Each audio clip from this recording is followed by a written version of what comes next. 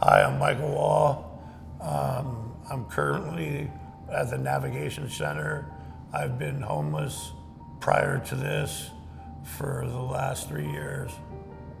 It's an interesting story. I was a union carpenter raising my son by myself, and uh, things were going really good, and then I had a bad accident, and trying to recover from that, just been one thing after another. That was a difficult recovery. And then I found prescription narcotics, painkillers, and I really took that for a ride and uh, really had a lot of loss on that. The pain was horrific, and it did a few other things to me. I got thrashed really bad. I had broken my collarbone, my pelvis, uh, tore my liver in half, bruised my kidneys. So I was under a lot of different uh, medications and uh, wasn't managing them correctly. And for me, it kind of spiraled. And then the doctors, awesome.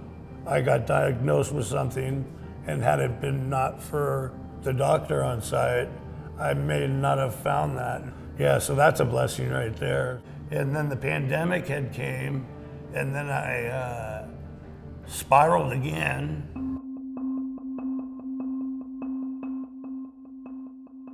And then from there, I went back to work cutting meat. So I was placed at a hotel. My time limit had came up because I'd been there for a year. That's how I ended up here. And here I am now, and I'm really, really thankful. Oh, I got off the painkillers with my own sheer will and determination. I just told myself, that's it. No more of this. It was the greatest feeling in the world. For the first time, I felt a feeling that I hadn't felt in a long time of independence. You get to sit in the cafeterias, definitely I, I, where you start and stop.